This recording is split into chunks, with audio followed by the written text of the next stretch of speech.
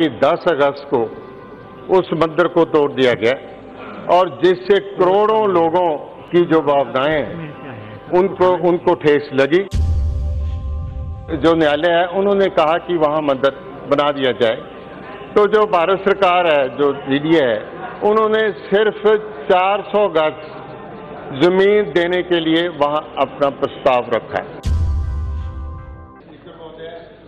گرو رب داس جی اس بھارت ورش کی دھرتی کے بہت مہان گرو ہوئے اور انہوں نے اپنے جیون کال میں شوہ شاد کے برد اور سماجک برابری لانے کے لیے انہوں نے پرزور جتن کیا اور ان کی جو بانی ہے وہ گرو گران صاحب میں انکت ہے۔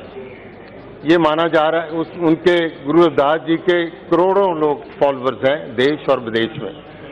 یہ مانا جا رہا ہے لکش مودے کی دلی میں تغلق آباد میں گرو روداس جی بہت عرصہ پہلے آئے اور اس ان کے آنے کے بعد وہاں پر روداس جی کے نام پر ایک مندر بنایا گیا، جو کہ بارہ ہزار پانچ سو گز کی زمین پہ تھا۔ میں خود وہاں گیا، وہاں ایک تلاؤ تھا، وہاں مندر تھا، وہاں اور بہت ساری چیزیں تھیں۔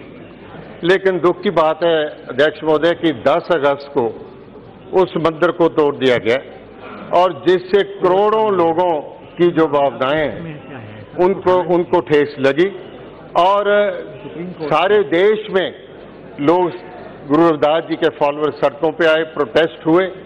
تو ہمارے کانگرس کے دیاک ہریانہ کے انہوں نے جج کا بھی دائر کی سپریم کورٹ میں۔ اسی لیے آپ وریش سدسیہ کیونکہ نیائلے میں معاملہ نیالے کی بات نہیں جی۔ اس لیے پلیز۔ تو نیائلے نے اونچ جو نیالے ہیں، انہوں نے کہا کہ وہاں مندر بنا دیا جائے۔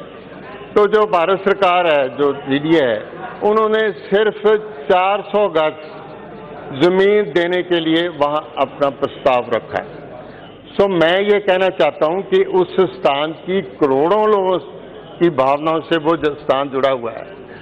ہم نے رام مندر کو پانچ ایکڑ زمین کا پرستاو آیا ہے۔